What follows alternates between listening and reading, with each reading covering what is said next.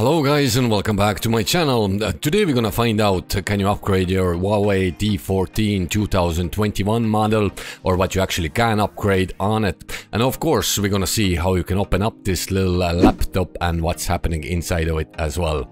First things first, you have to remove all the screws pointed there on the back panel. You need a little special screwdriver for that. It's called Torx T5. I'm gonna leave the link in description if you wanna purchase similar one what I'm using there. It's it's great tool. It has many many different bits with it, so it's gonna be useful for other jobs as well. To remove all the screws, you don't have to separate them. They're all the same size, so it doesn't matter where they're coming out or where they're going back in. They're gonna fit either way.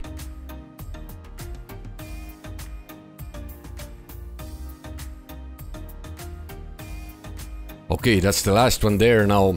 And you need a little uh, plastic tool if you have one. If not, uh, use your fingers. Don't use anything metal, especially screwdrivers or anything similar. It's just gonna break your laptop or damage it at least.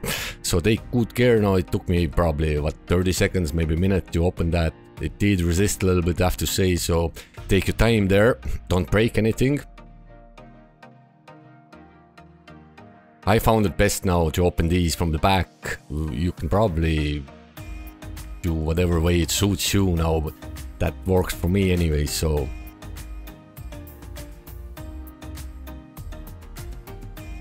And as I said, uh, it does resist a little bit, but once its back of it is off, it comes off really easy, so...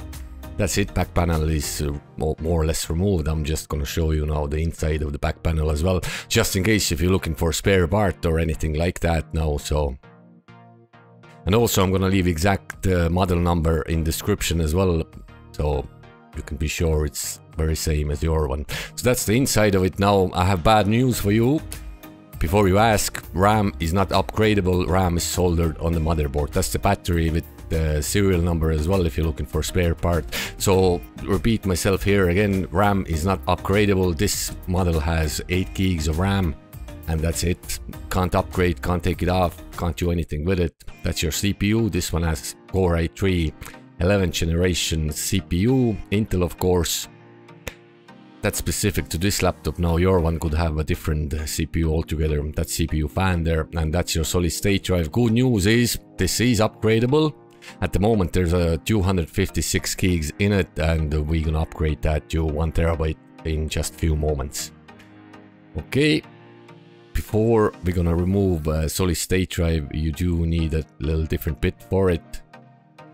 There's actually little markings on it, there's 3.8 PH1 as well. So just one screw holding that in a spot. okay, before we do that, I do recommend disconnecting battery just in case not to cause any shorts on the motherboard or, or anything else. And just a little thing here now, I think one of the videos someone was giving out to them, not wearing gloves or whatever.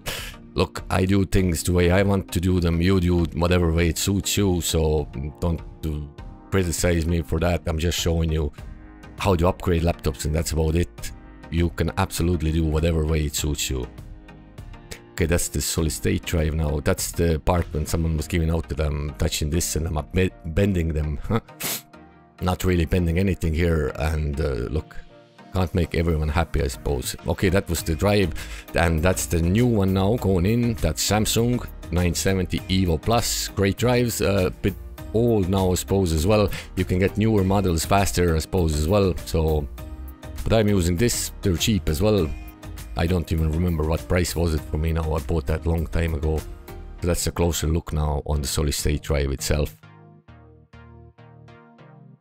And I have to say this laptop works great even with previous solid state drive but even better with this one. I'm gonna put into Windows later on just to show you some specs of it. I'm not fooling you and it does work so you'll see it yourself just in, in about a minute now so that's all what's left to do with the screw back there and connect the battery of course as well. Do not forget that I made that mistakes many many many times before. Got too excited there, connected everything except battery, closed the laptop and then realized it's not connected. So you have to open it obviously again. So I just check before you close laptop everything is connected. That's it now. Back panel goes back. Suppose same way as you took it off. And all the screws back in again. Just a gentle little press and it will go into the right place itself. And same thing, just uh, change the bit now again to Torx T5.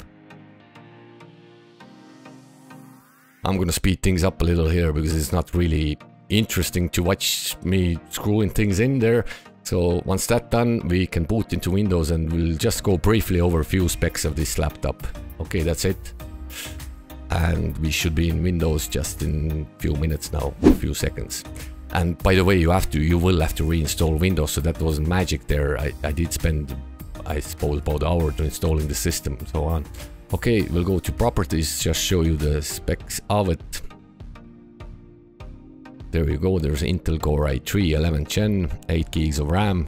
Very basic, but still good laptop, fast enough. Uh, you won't do any hardcore video editing or anything like that with it, but it's good for casual kind of computing or anything like that. I'll go to device manager as well just to go over a few more specs here. That's your disk drive now as you see the Samsung what I showed you earlier is there working 100% and your CPU here as well. I'm gonna show you the, the display adapter as well. It has Ultra HD graphics, so as I said, pretty basic, but does the job, so it's not a bad laptop. Well built as well, actually, pretty good materials, all, all, all that. Okay, there, another look on that. And as you see, all working. Hopefully this video was helpful for you. If it was, subscribe, like the video. Bye.